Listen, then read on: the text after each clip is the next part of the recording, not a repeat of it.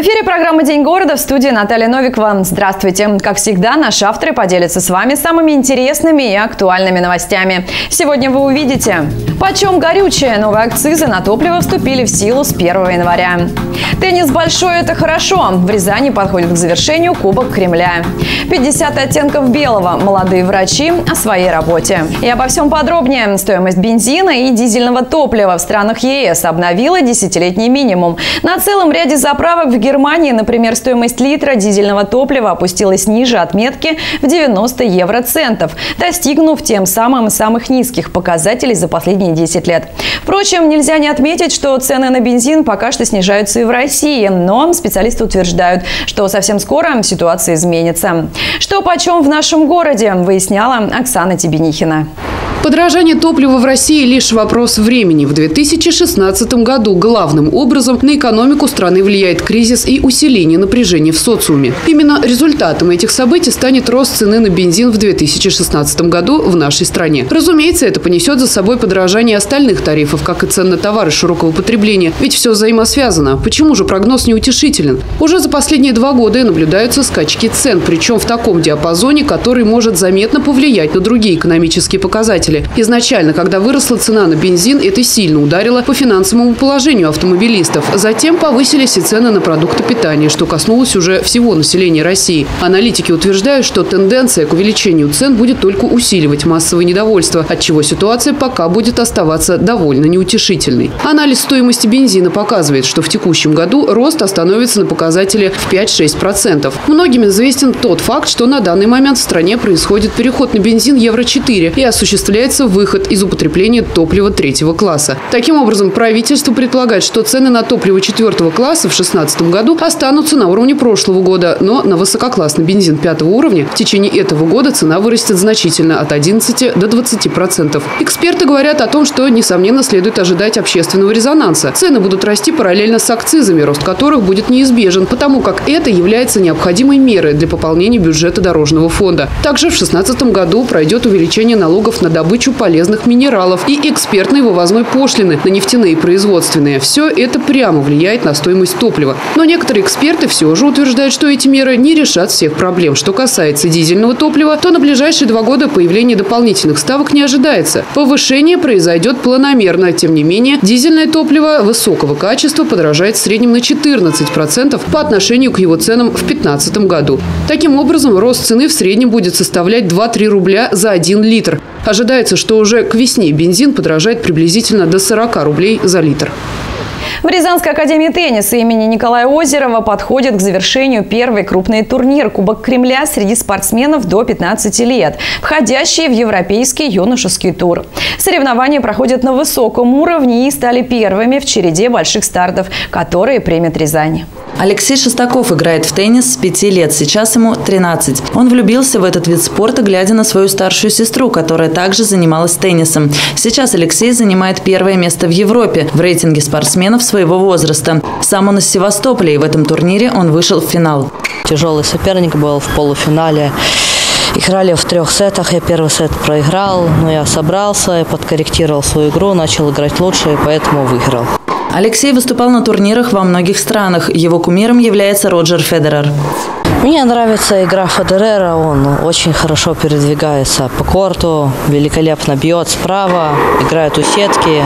Ну, просто великолепно передвигается. Очень много шлемов выиграл, поэтому нравится его игра. Я всегда смотрел с восхищением, особенно когда он играет на Умболдоне. Юный теннисист, как и великий спортсмен, хочет завоевать все кубки турниров «Большого шлема». Соперником Алексея в финале Кубка Кремля станет Алибек Кочемазов. Он приехал из Москвы с группой поддержки. Его кумиром также является Роджер Федерер. Кочемазов, как и его завтрашний соперник Алексей Шестаков, полюбил теннис, глядя на свою старшую сестру и начал играть в него с 6 лет. В этом году успешно стартовал, выиграл первую категорию, вот сейчас вот, которая была в турнире Александра Островского, теннисный турнир первой категории. Сейчас вот дошел до финала э, на Кубке Кремля. Будет играть с Шестаковым. Э, первая ракетка Европы, этот мальчик. У них счет 1-1 по встречам, личные, по личным встречам. Ну, завтра такой момент, кто кого. Прошлом году Алибек мало участвовал в турнирах, больше времени провел в тренировках и общефизических подготовках, чтобы получить результаты, начиная с этого сезона. В целом, турнир Кубка Кремля дает большие перспективы для его участников. Он является европейским и собирает спортсменов из многих стран. Турнир такого масштаба впервые проходит в Академии тенниса имени Николая Озерова. И по мнению экспертов, премьера удалась. Это первый турнир, который вообще здесь проходит, и сразу же высшей категории европейского теннисного тура, турнир первой категории. И организаторы сделали все возможное, чтобы провести его на подобающем уровне, так, так вот, как и проводится в Москве, в Петербурге и других крупных городах, где уже не первый раз этим занимаются. В скором времени в Академии тенниса имени Николая Озерова пройдет еще ряд турниров, на которых соберутся лучшие спортсмены. Такого уровня масштаб только возраста до 13 лет. Уже 28 января стартует зона Европы. 16 команд, всего 150 участников мы принимаем. Это тоже очень высокий уровень. После нашей зоны это будут отбираться уже финалисты э, европейского теннисного тура, который будет играться в Европе. Организаторы турнира также отметили высокий профессионализм всех участников турнира и выразили благодарность всем спортсменам, которые смогли приехать, чтобы побороться за победу. С Нового года в бассейне Рязанского государственного медицинского университета «Аквамед» стартовали новые занятия плавания в моноластах. Несмотря на то, что этот вид водного спорта довольно новый, он уже успел завоевать сердца многих любителей поплавать. О том, что это такое, расскажет Марина Комиссарова. Подводный спорт привлекает все больше спортсменов и любителей активного отдыха. В основе этого красивого и скоростного вида спорта лежит базовая дисциплина – плавание в ластах. У таких занятий множество преимуществ. Укрепляются мышцы спины и ног без перегрузки позвоночника и суставов. Развивается эластичность связок, а с помощью опытного тренера находится оптимальный стиль и скорость плавания для каждого. Моноласта – более эффективный плавниковый двигатель, чем парные ласты. У нас стартует новое направление – финсвиминг. Плавание в моноласте производится по техники «Дельфин» направлена на освоение техники плавания, поэтому любой занимающийся может прийти на занятия вне зависимости от уровня подготовки. Главное, чтобы он умел держаться на воде. Моноласты – это разновидность ласт, позволяющая совершать движение двумя ногами одновременно. И также задача состоит в преодолении дистанции под и по поверхности воды. Моноласту изобрели в России. Идея конструкции возникла при съемках фильма «Девочка и море». Скоростное плавание в моноласте дает возможность развивать скорость до 8 км в час, что вдвое больше рекорда чемпиона мира по плаванию. Ну, если ты человек подготовленный, то, в принципе, тут ничего сложного. А если ты в первый раз пришел, да, придется постараться. Но мне кажется, тут тренер хороший, и она всем все расскажет, всем все покажет, и все будет замечательно. Моноласты широко применяют в скоростном плавании, подводном ориентировании и фридайвинге. Кроме того, движение в воде выглядит очень красиво. Набор в группы продолжаются. На занятия в Аквамед приглашают желающих в любом возрасте и любой физической форме. Не успели новогодние праздники отгреметь, а полицейские вновь обнаружили пункт продажи нелицензированного алкоголя. На этот раз предприниматели выбрали не совсем обычное место для торговли. Расположились на платной автостоянке. Платная автостоянка в городе Новомичуринске Пронского района в начале Нового года вдруг стала популярной. О ней узнала вся Рязанская область. И все благодаря полицейским, которые выяснили, что автостоянка функционирует не только по своему прямому назначению. Здесь клиентам предоставляют также дополнительные услуги. Сотрудники полиции пресекли в городе Новомичуринске Пронского района незаконную торговлю спиртным из помещения охраны на платной автостоянке. Алкогольная продукция, реализуемая в сторожке, была с явными признаками контрафакта. Изъято 40 литров спиртного. Полицейские получили информацию, что охранник платной автостоянки, расположенной в Новомичуринске, прямо на рабочем месте торгует спиртным. Конечно, никакого разрешения на торговлю алкогольной продукцией в таких условиях получить невозможно. Сотрудники полиции проверили эти сведения и выяснилось, что алкогольная продукция сбывалась по низким ценам, а качество спиртного даже при визуальном осмотре вызывало серьезные сомнения. Сотрудники полиции зафиксировали незаконную продажу спиртного на автостоянке и осмотрели сторожку. Там хранилась алкогольная продукция, водка, водка, коньяки, виски с этикетками известных брендов. При этом бутылки были маркированы акцизными марками с явными признаками контрафактности. Также у охранника обнаружили початые пятилитровые емкости со спиртом и бутылки из-под пива со спиртосодержащей жидкостью. Вероятно, часть спиртного сторож готовил прямо на рабочем месте. Всего было изъято 40 литров спиртного. Образцы изъятой продукции направлены на экспертизу, по результатам которой будет принято соответствующее процессуальное решение.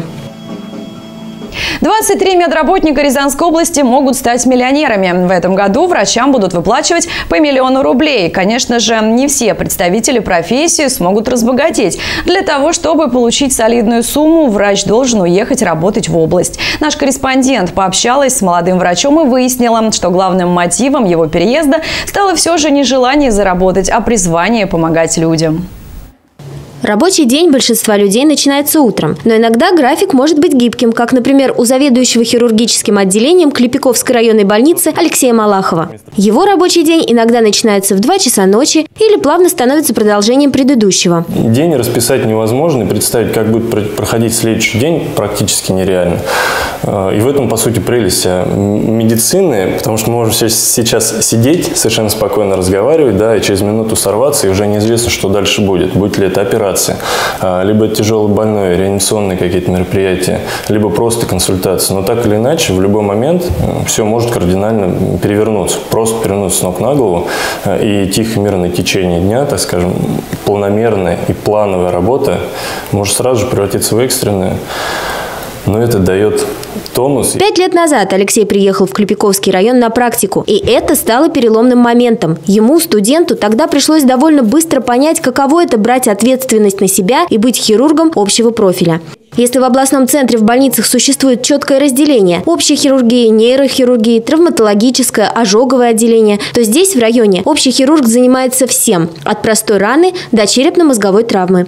Тогда буквально за каких-то полтора месяца в сознании студента ординатуры и произошел тот самый перелом – переход от сознания студента к сознанию врача, способного самостоятельно принимать решения. Уже после получения диплома Алексей решил остаться в Клепиковской больнице, а через пару лет ему предложили стать заведующим хирургическим отделением. Работа в районной больнице требует э, не просто способности принимать решения, а способности двигаться вперед, несмотря ни на что.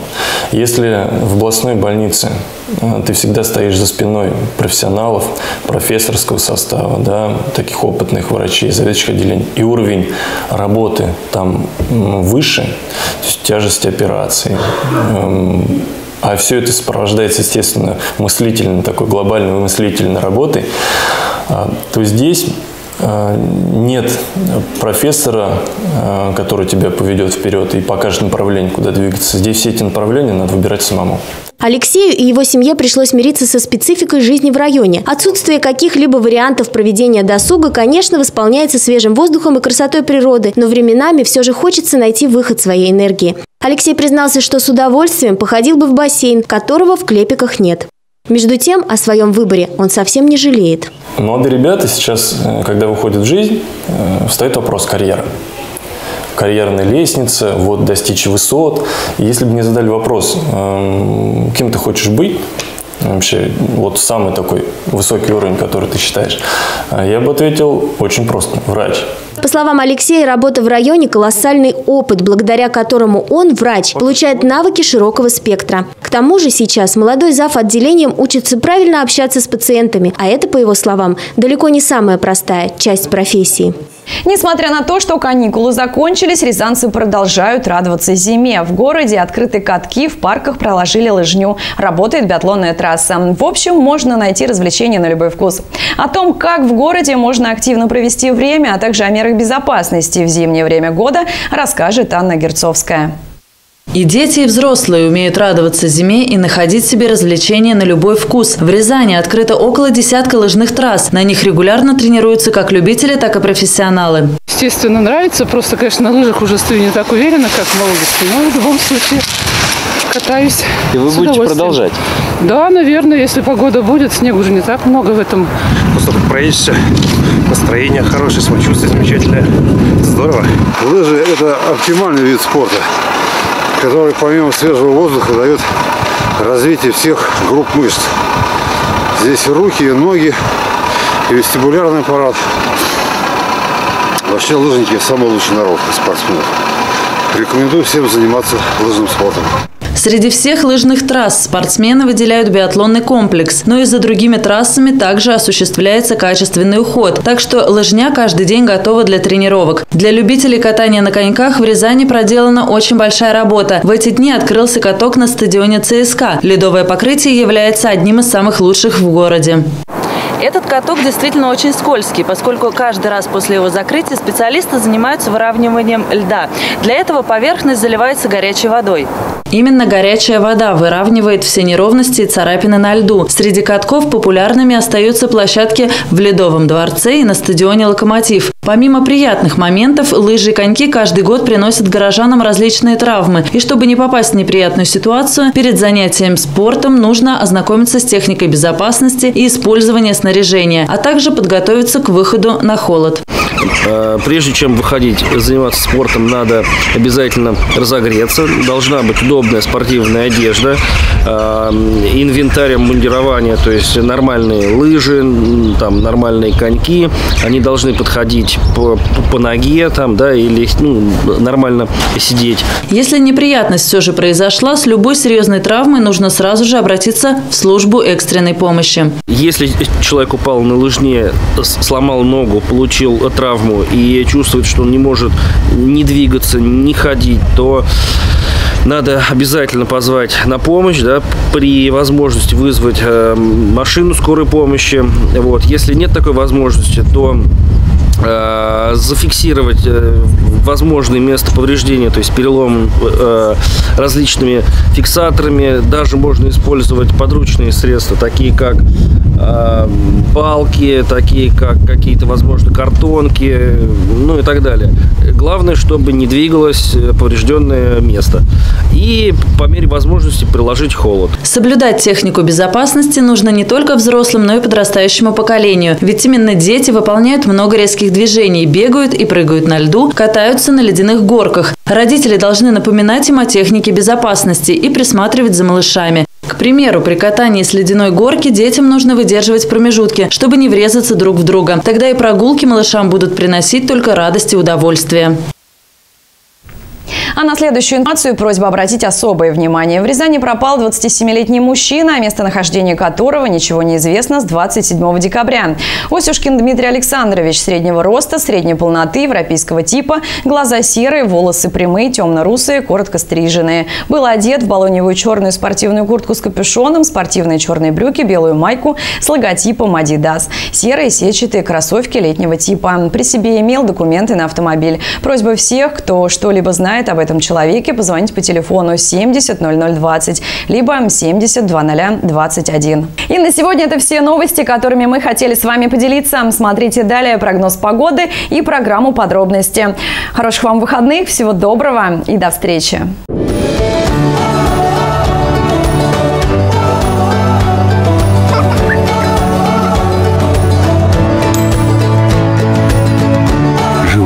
Комплекс «Вива».